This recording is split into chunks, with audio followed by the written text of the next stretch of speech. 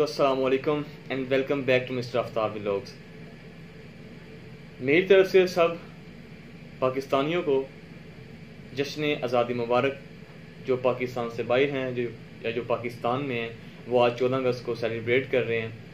तो उम्मीद करता हूँ, वो सब खैर वफियत से होंगे और बहुत खुश होंगे सेलिब्रेट करते हुए आज़ादी को। तो मैं स्टार्ट लेता हूँ एक शेर से कीजिए मुल्क। खुदा दार रहेगा। आज़ाद था, आज़ाद है, आज़ाद रहेगा इन तो इस शेर के साथ स्टार्ट करते हुए कि ये मुल्क जो है, वो बड़ी कुर्बानियों से हमने हासिल किया। चौदह अगस्त उन्नीस को, ये सब कुछ पता है। मैं डिटेल्स में नहीं जाऊँगा और ना ही वो मैं बच्चों वाली बातें करूँगा। लेकिन कुछ जो हैं, वो मैं आज उनके बारे में बातें करूँगा कि जो आजकल पाकिस्तान में चल रहा है और उस चीज़ को हमने रोकना है, वो एक कौम बन के हमने चलना है, उससे ही हमारा फ़ायदा होगा। ताकि हम जो हैं, वो अभी एक बहुत आला कौम और आला मुल्क की वजह से जाने जाते हैं। ठीक है? पूरी दुनिया में आप जहाँ मर्ज़ी ट्रैवल कर लें, आपको पाकिस्तानी हर जगह मिलेंगे, सवाए इसराइल के। पाकिस्तान वो वाहद मुल्क है, जिसने अपने पासपोर्ट पे लिखा हुआ है कि इसराइल के अलावा आप पूरी दुनिया में जहाँ मर्ज़ी जा सकते हैं। तो ऐसा है हमारा मुल्क कि हमने उन चीज़ों पे पाबंदी लगा दी जो इस्लाम के ख़िलाफ़ बोलते हैं। क्योंकि हमारा मुल्क एक इस्लाम के नाम पे ही बना है। वो कहते हैं हमारे पाकिस्तान का मतलब क्या? ला इलाहा इल्लल्लाह। तो हम बने ही उस पर हैं। हमारी ये जो है, पाकिस्तान पाक साफ़ है। और इसको पूरी दुनिया की कोई भी ताकत अभी इधर का उधर नहीं कर सकती। अल्लाह के फजलो करम से। वो कहते हैं ना, एक हुए थे तो बना था पाकिस्तान। एक हुए थे तो बना था पाकिस्तान। एक रहेंगे तो बचेगा पाकिस्तान। हम, ये जो कौम है, तकरीबन तेईस करोड़ आबादी है हमारे मुल्क पाकिस्तान की, हम एक रहें। ताकि कोई भी दुनिया की पावर पाकिस्तानी को और पाकिस्तान को बात ना कर सके।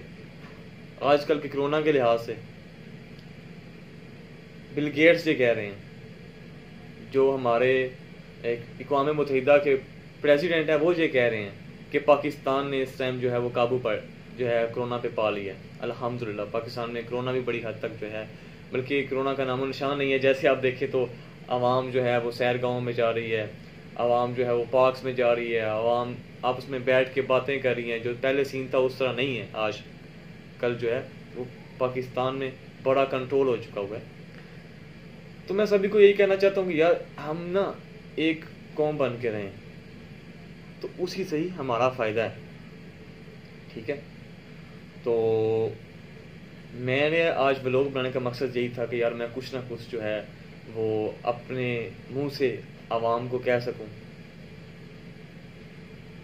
ताकि कुछ ना कुछ तो जो है यार बंदे सुन के आ, उन पे क्या कहते हैं यकीन करें उन पे जो है वो थोड़ा सा उन्हें जज्बा है, वतनी और थोड़ा सा उनमें आए।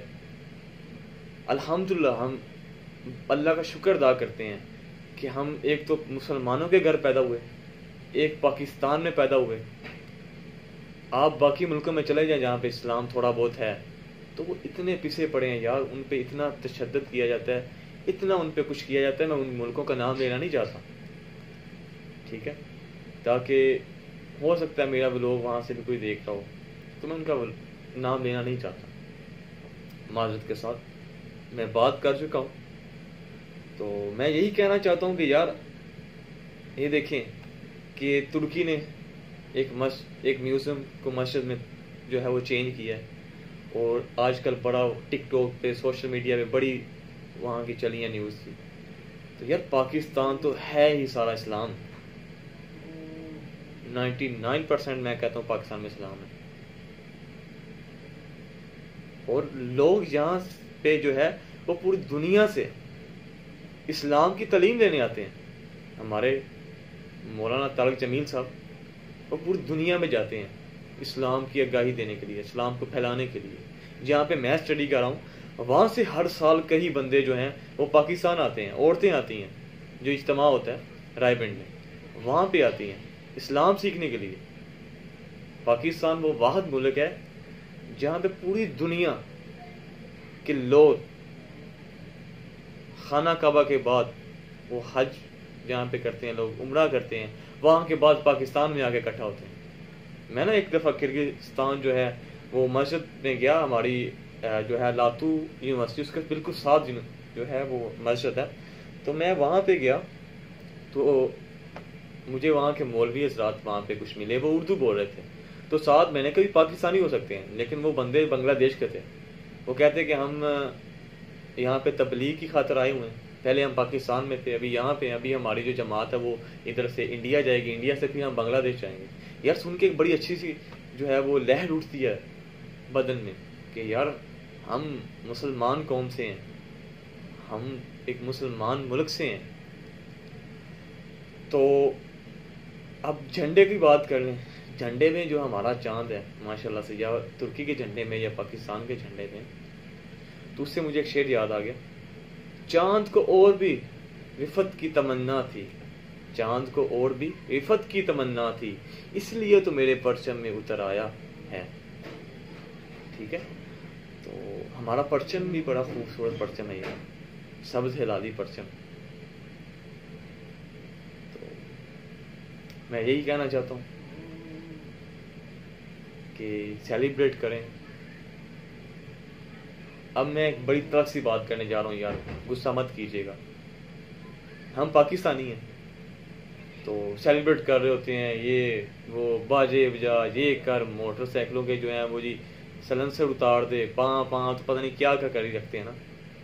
यार ये चीज़ें क्या अच्छी हैं? गाड़ी हम चला रहे होते हैं, झंडा पाकिस्तान का लगा होता है, गाड़ी आपने सजाई देते हैं और गाना अंदर लगा होता है, तेरी मिट्टी में मिल जावा, गुल बन के मैं खिल जावा, इतनी सी है ये यार पता वो किस मुल्क का गाना है? मैं नाम मेंशन नहीं करूँगा, पता चल गया होगा सभी को। तो इस तरह नहीं होती सेलिब्रेशन सेलिब्रेशन नगमे हैं, आपके मिली नगमे हैं, उनको पढ़ें, ठीक है? आपका जो है वो तराना है, आप वो पढ़ें। उन पर वीडियोस बनाए टिकटॉक पे। मैं भी बनाने जा रहा हूँ एट द एंड मैं भी कुछ अपने पाकिस्तान को डेडिकेट करने के लिए चाँद एक लिपसिंग करूँगा। वो भी मैं एंड पे डालूँगा इस वीडियो के। देखिएगा।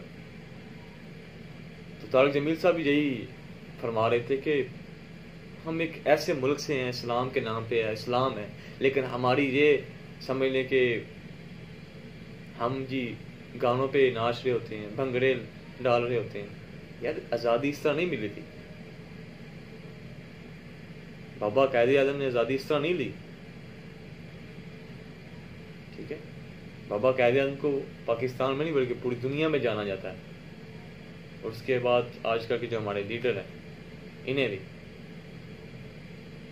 कहते हैं कि उस वक्त कौम को एक मुल्क की ज़रूरत थी। उस वक्त एक कौम को एक मुल्क की ज़रूरत थी। आज इस मुल्क को एक कौम की ज़रूरत है। वो कैसे ही हमें एक कौम की ज़रूरत हम तो हैं, पहले एक कौम नहीं यार। इट्स रॉन्ग एक कौम है, लेकिन एक कौम काफ़ी फिरका वारियत में पड़ चुकी हुई है। एक कौम अपने डिविजन्स के लिहाज से पड़ चुकी हुई है। लाइक हम जी पंजाबी हैं। एसी जी पंजाबी हैं जी। असा सराइकी हैं। हम जी जो हैं वो बलोची हैं, हम पठान हैं, हम ये हैं, वो हैं। यार, हम पाकिस्तानी हैं। ये तो हम बात की बातें हैं इसमें ना पड़ा करें। जब एक मुल्क पे बात आ जाए तो तब तो अल्हम्दुलिल्लाह पाकिस्तानी कौम इकट्ठी हो जाती है। लेकिन मैं फिर कहना चाहता हूँ? एक कौम में आए, ना कि फ़िरका वारियत में आए। मैं फ़िरके नहीं गिनाना चाहता। तो मेरी सभी को ये रिक्वेस्ट है कि आप फिरका वारित में ना आए। अल्लाह ताला इस मुल्क को और तरक्की दे। तरक्की की तरफ़ गमजन है। अल्लाह ताला इस मुल्क का और नाम बुलंद करे। अल्लाह ताला इस मुल्क का जो है वो और आ, नाम पूरी दुनिया में वैसी है। हमारे वो वाद लीडर हैं जिन्होंने इकवाम मुतहदा में उस एक स्टेट के बारे में बोला था जो कि आज भी पिस रही है। वो कश्मीरी जिनको आज़ादी की ज़रूरत है आप उनसे पूछें वो कितने डिस्टर्ब हैं वो कितने जुल्म सह रहे हैं। अल्लाह का शुक्र अदा करें आप एक पाकिस्तान, एक मुल्क में हैं, जहाँ पे आपको किसी किस्म की कोई रोक नहीं है, टोक नहीं है। आप जो चाहें कर सकते हैं। आपको इतनी आज़ादी है, मैं बाहर हूँ। मुझे पता है, मैं फ़ौरन में हूँ। मैं फॉरनर हूँ, मुझे पता है कि अपना मुल्क अपना होता है। आप जहाँ दुनिया में मर्ज़ी चले जाएँ, जो इज़्ज़त आपको अपने मुल्क में मिलेगी, वो आपको कहीं नहीं मिलेगी। लेकिन हम पाकिस्तानी वो कौम है, कोई बाहर से बंदा आ जाए तो हम फिर भी उसे इज़्ज़त देते हैं। यार सल्यूट है इस कौम को, यकीन करें। कुछ बातें हमारे, मेरे अंदर भी होंगी, कुछ बातें किसी के अंदर भी होंगी, जो कि हम एक दूसरे की बात पे मुतफिक नहीं हो सकते। तो उस कश्मीर को लेके हमने रहना है, इंशाल्लाह। स्ट्रगल करनी है। कुछ बंदे कहते हैं, नक्शा डालने से कश्मीर नहीं मिलेगा, गाने बनाने से कश्मीर नहीं मिलेगा। यार, हम अभी थोड़ा सा, वो कहते हैं पार्टी तो अभी स्टार्ट अभी तो पार्टी स्टार्ट हुई है। थोड़ा थोड़ा करके हम, इंशाल्लाह, उधर घुस जाएँगे और ले ले करेंगे कश्मीर को। तो चलें, कुछ वीडियोस वगैरह जो मैंने डेडिकेट किए हैं, नगमे हैं, मिनी नगमे हैं, उनको ज़रा देखें।